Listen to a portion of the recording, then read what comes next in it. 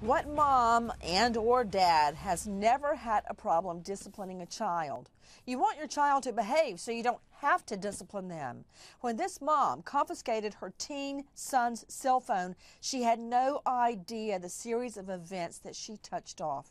Her body was found beaten to death in the backyard tool shed. Her son apparently laying in wait until she came home from the night shift at the airport and then slaughtered her in the kitchen using the kitchen frying pan and a hammer, even thinking to get another teen friend to pose as lookout in the front yard.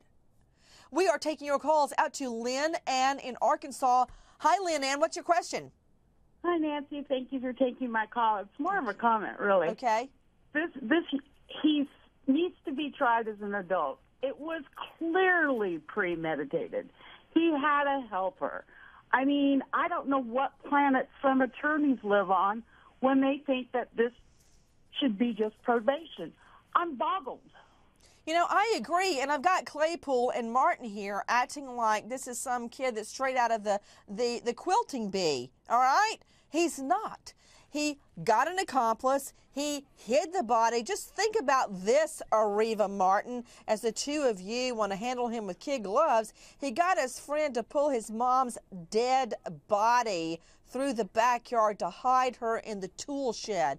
And as both of you know from trying so many cases, that the judge will instruct a jury, if it gets that far, that they are allowed under the law to take into mind the circumstances before, during, and after the crime, including hiding his mom's body in the tool shed, cleaning up the kitchen, and waiting on daddy. What about that, Areva Martin? First of all, Nancy, no one is no one is exonerating this young man from this horrific act. Obviously, killing your mom is, just the most unthinkable thing that anyone can do. Yeah. But we have to look at the totality of the circumstances. It looks like this boy panicked, you know, hiding Panic. the body after the fact that his mom died.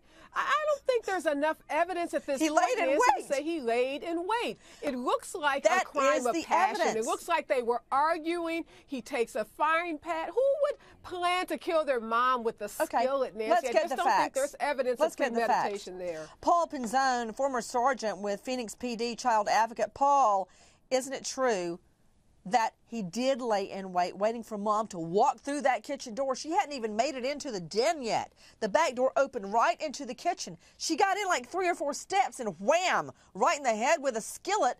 And not only that, he had an accomplice. That means he planned this ahead of time. I agree with Lynn Ann in Arkansas. What what are these two defense attorneys tripping on?